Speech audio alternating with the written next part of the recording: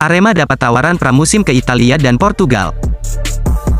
Klub asal Malang, Arema FC, mendapat tawaran untuk menjajal kekuatan skuadnya di masa pramusim di Italia dan Portugal sebelum melakoni kompetisi BRI Liga 1.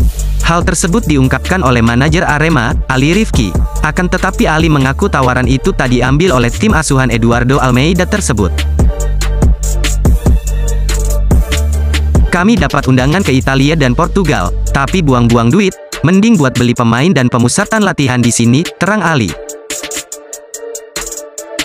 Dalam waktu dekat juga akan ada uji coba dengan Rans Cilegon, Dewa United atau klub mana saja. Dan tentunya ikut turnamen sebelum Liga 1 bergulir, sambungnya. Sebenarnya mengikuti pemusatan di luar negeri belum pernah dirasakan tim Arema. Selama ini mereka selalu menggelar pemusatan di Malang atau Yogyakarta. Justru tim putri Arema beberapa waktu lalu sempat ke Turki mengikuti sebuah turnamen, Antalya Cup Women 2022.